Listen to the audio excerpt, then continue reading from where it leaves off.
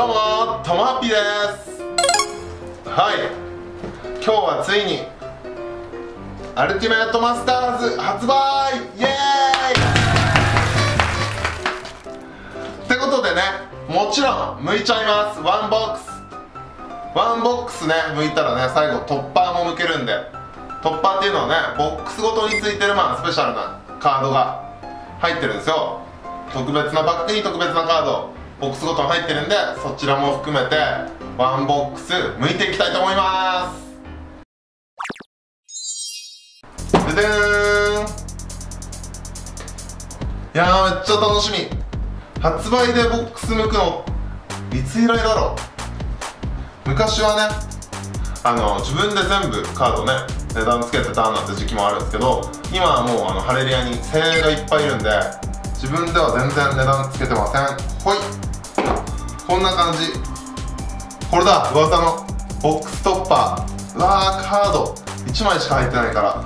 これカバンに入れといたらすぐ折れちゃいそう。なんとねこのパック面白いのがここ見てください。シールドプロダクト。Not for Resale これどういうことかっていうとあのこれ古物で売らないでねっていうことなんですよね。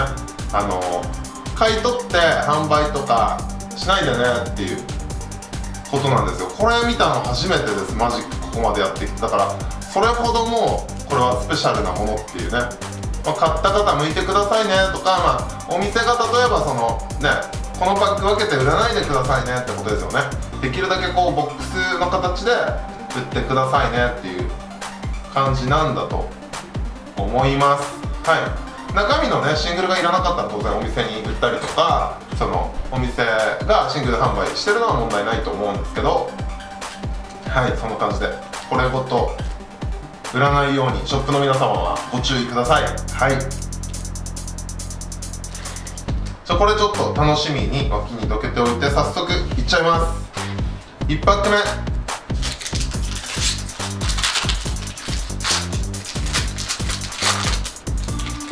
よっと。おおいきなりトークンマリットリージ欲しかったこれ。これなんか光ってるやつしかなかったのかな今まで。いきなりいいやつじゃん。これがしかも見てください。小紋こんないいのが。おおボーグル。え？2枚目だよ。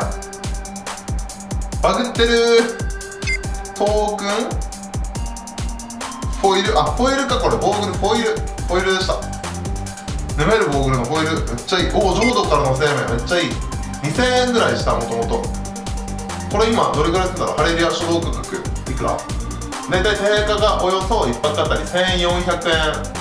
ぐらいなんでメーカー希望小売価格が1泊あたり1400円ぐらい、まあ、それ以上のカードすごいたくさん出そうだけどそれを超えてたらもうそのカード買うより得みたいな感じですよねお店でそのカードを買うよりこのパック向いてよかったっていう。まあね残念ながらその定価でメーカー希望小売価格でハレリアでもかなりまとまった数その値段で売らせてもらったんですけどもうそれ以降はその値段で売るともう欲しい人の手に行き渡らないっていうもう在庫すぐゼロになっちゃうような状態で、まあ、今はちょっと値段は上がっちゃってます残念ながら。はい。えっ、ー、と2400円。おお浄土からの生命初動価格シングル2400円です。イエスウィンはい。こんな感じでまあ結構ねこんな感じでまあね。この辺はまあ歴史を彩ったかなりいいカードがたくさんね入ってますけど。まあ、ちょっといいカード多すぎるんでコモンアンコモンは端折り目で。おレベッカ蘇生の手押し楽しみ全パックフォイル入ってるっていうのがいいですよね。じゃあ裏からか表の方は表2枚かなトークンフォイルレアみたいな感じで溶けてこうサクサクっとね。あボルガリの魔除けも入ってるかおおジュコンかじり。めっちゃいい。これ入ってるのはいい。さあドレイク。今度は2おおジュコンかじりフォイル。これ。めっちゃ高かった。昔日本語版。5000円 ?8000 円すごいしましたよこれ。ほらだからだから簡単に出ちゃったそんないいカードが。今もうね500円とか1000円になっちゃうのかなたくさん出て。ほい。えー、これダメだ。多分ダメなやつだ。数系の壁。まあでもスタンダードで使ったことはある。やでもゴルガリの魔除けはいいっすよね。なかなかレガシーでバンバン活躍してるカードとかね。うわあと22パックマンのかめっちゃ楽しみ。あ出るかな？めっちゃ。リキアツフォイル出てほしいな。はいココモンからあアンコモンからだまあいいやアンコモンからでいいや。レッドキャップ。フンヌ堂々巡り。懐かしい堂々巡り。はいお大当ての創作イラストがねマジックの歴史が詰まってると噂の。大当ての創作。オルートアラ懐かしいな。はいこんな感じで。コイル3枚目。チッチのチ。はい次行きましょう。レア。ほい。おお重曹のシャーマン。いいいいカードはい次。よし。あこのおお叫び大口。いい。密集軍の指揮者。みんな党の英雄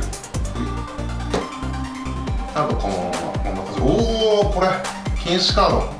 レガシーでも禁止されちゃってる強度まあねドラフトで使う分には普通に楽しいカードだったりしますからね。公式では危険でも。はいいきます。ホイール。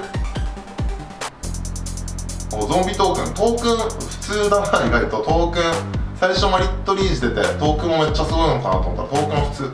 ほい。野鳥の支柱ホイール。はいレア。とえー、何これ。しょっぱい意外としょっぱい。僻地の灯台まあいいカードっすけどね。土地ながらにしてドロー操作できるんでいいカードっすけど、まあ、ちょっと残念。これやばいな雲行きいきなり怪しくなってきたなちょっと外れがね。少ないっていうので結構有名ですからね。アルティメットマスターズほい。あんこもならず者の道都の進化インソクラムクイーだね。ほい。このいやこれ大好き。これレガシーで使ってますからね今バリバリ僕。豆き騒ぐマンドリル。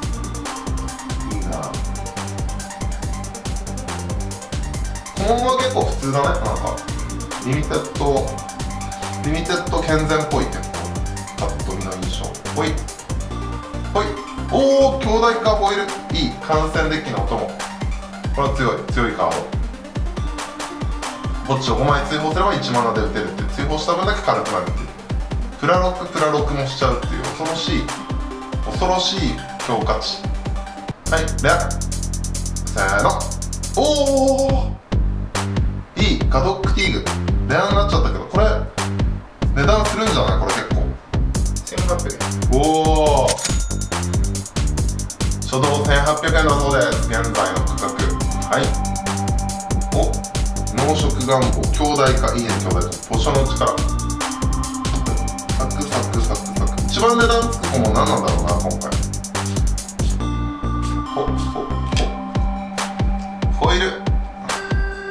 超高額フォイルカモン。ヒュッ。あー。闇つげカラス。まあカラスは地味にファンが多い。せーの。おお苦花シマラきたー苦花これはいいか。これはもうレガシーで。ね。黒いデッキ。何も考えないでサイドに入れといても奇跡とかグリクシスコントロールが遅いデッキに強いサイドボードカードですね、まあ、メインで入れてももちろんその噛み合うようにデッキを作れれば強い。毎ターンフェアリー出せちゃう一定ライフを失うけど毎ターンフェアリー増殖させちゃえるっていうカードですね。これは強い。さあお値段は？3500円です。お3500円。大体ねパックの価格の2倍以上。2.5倍ぐらい。いい感じ。前のイラストもめっちゃいいですけど今回もいいですね。さあ次いい弾みがついてきた苦花はいいテンション上がってきた。さああ来い。お対抗トップいい。主連え主連黒枠？いいこれ。意外と白枠の第8版白枠をまだ使ってたりとかしてます。よかった。これ黒枠黒枠で集めよ。う黒枠英語。英語版プレイヤーのトマッピーでございます。ほいほいほいほいほいほい。おおなかなか。懐かしの。これね俺ちょっと似てるっていう。ちょっと似てるって言われた。わかります？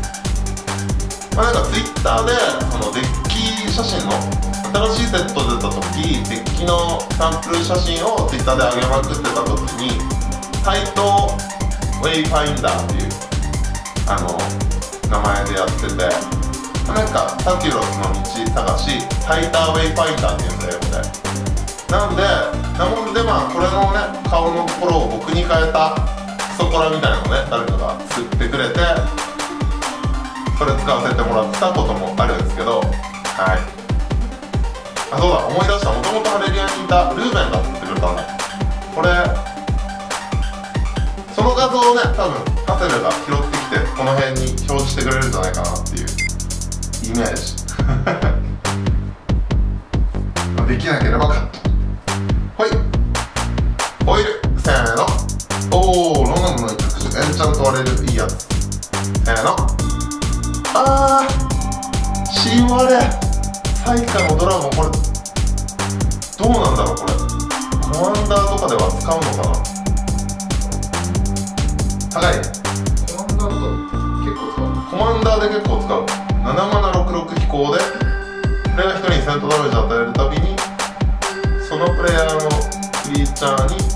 ダメージあそうか。こいつがプレイヤーに与えたダメージ分そのプレイヤーのクリーチャーにも与える。結構強いな。相手だけ全体除去みたいな。はい。おいくら？300円。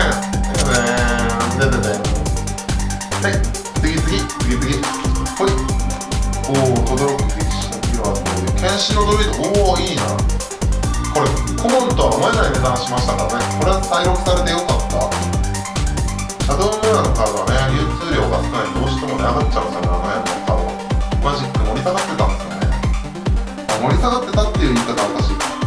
今よりも盛り上がってなかった。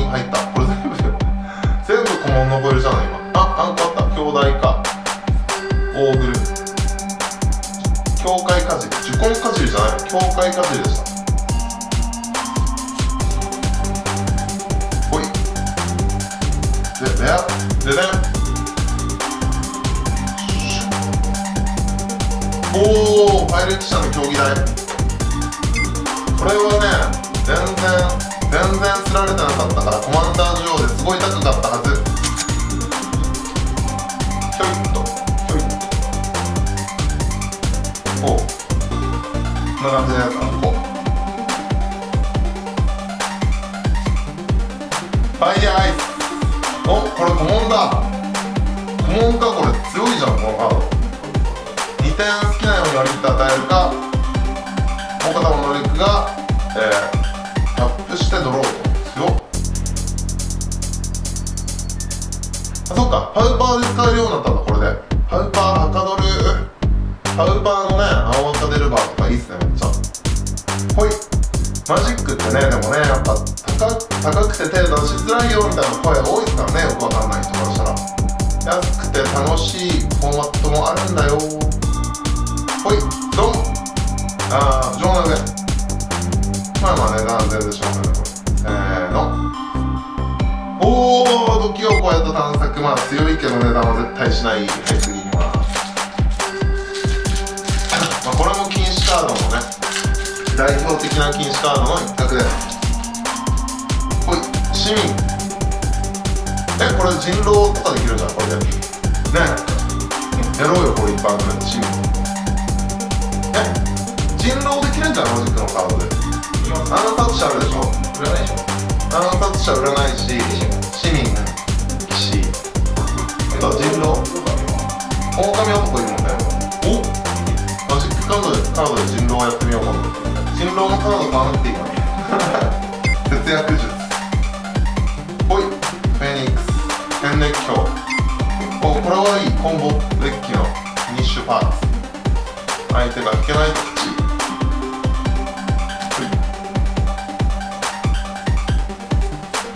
おこれトップコモンじゃない？さすがに。新攻撃物あさりモダンでバリ強いこれ。レガシーでも使うし。ポチリオ系デッキのね。ポチリオ系とか手札。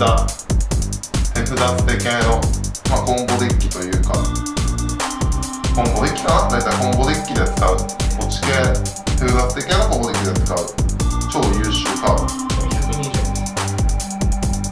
120円。ですおおこれがトップコモンここもは子供の手の内。えマジ？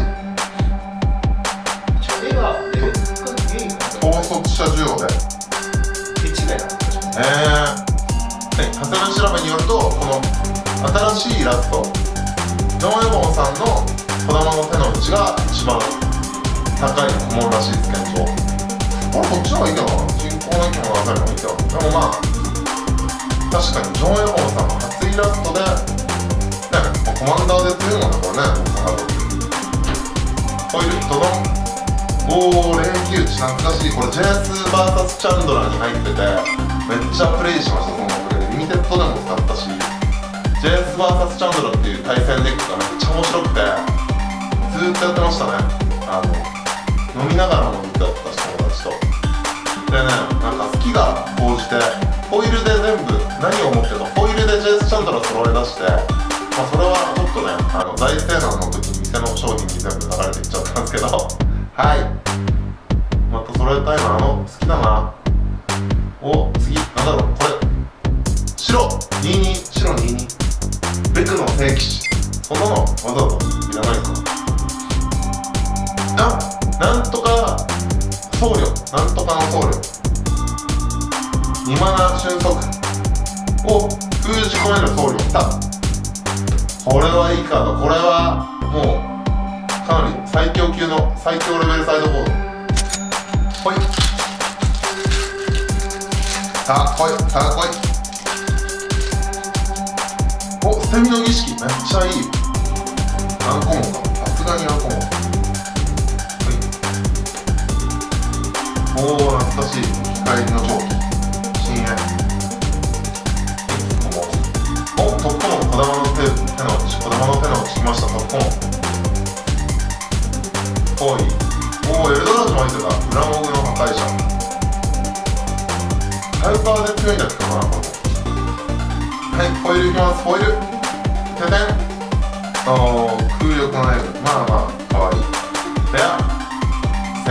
ーのリルリロドゥルリルリロ